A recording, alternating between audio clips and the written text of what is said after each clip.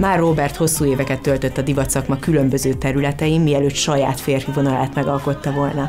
Robi, hogyan alakult a férfi vonalad, és miért most? Évekig dolgoztam stylistként, és azt tapasztaltam akár a produkciókon, akár a, a saját körömben, baráti körömben, hogy nem igazán lehetett itthon stílusos és egyedi férfi ruhákat kapni.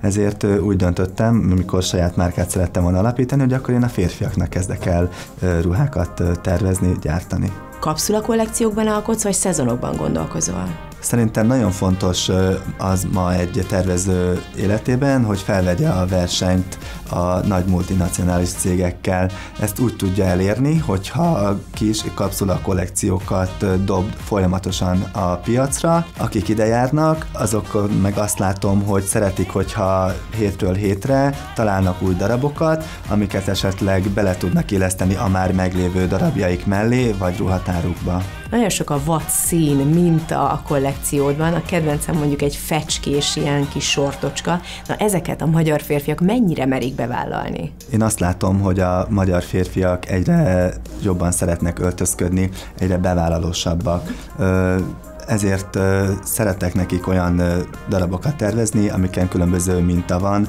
amiket tudnak vegyíteni a saját meglévő ruháikkal, valamint azt látom, hogy a külföldiek is ezt nagyon szeretik, akár az oroszok, akár olaszok részéről nagyon jók a visszajelzések, ők is nagyon szeretik ezeket a bevállalós és extrémebb mintás darabokat.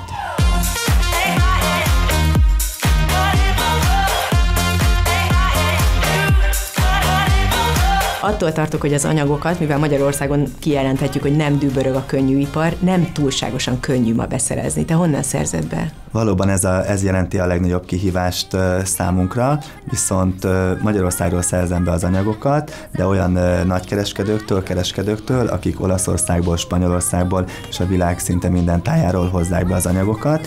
Hál' Istennek sikerült az évek alatt egy olyan viszony kialakítanunk, hogy most már amint megérkezik egy érdekesebb szállítmány, akkor telefonálnak, és így első kézből tudunk vásárolni tőlük. Mi tekinthető ma Magyarországon, vagy bárhol a világon érdekesnek? Milyen anyag, milyen szín, milyen fazon? Férfiaknál nagyon fontos az, hogy tapintása jó minőségű legyen, bőrbarát legyen, kényelmes anyagú ruha legyen. Férfiak nem szeretik, hogy egy ruha kényelmetlen.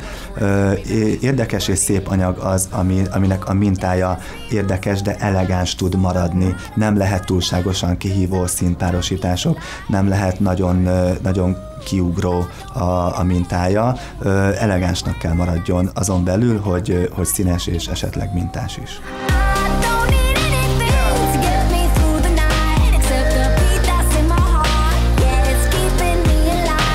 Milyen kiegészítőket visel ma egy fashionista szemléletű férfi? Újra nagy divat most a csokornyakkendő és a díszsebkendőnek a használata. Ezt lehet ö, megbolondítani esetleg egy ö, hozzáillő színes zoknival, övvel, valamint a férfiaknál egy nagyon jó játék lehet az, hogy különböző kiegészítőkkel ugyanazt az akót, a nappali outfitet például lehet egy esti partihoz, mozihoz vagy vacsorához igazítani, hogyha elegánsabb csokornyakkendővel, zsekkendővel veszi fel. Mi a tervezői filozófiád? Az a filozófiám, hogy olyan darabokat tervezzek, ami az átlagostól egy picit extrémebb, de még hordható. Például szeretek azzal is játszani, hogy egy elegáns anyaghoz sportosabb anyagokat társítok, ezáltal egy olyan sportos elegáns darab kerül ki, amely lehet elegáns és sportos ruhadarab is.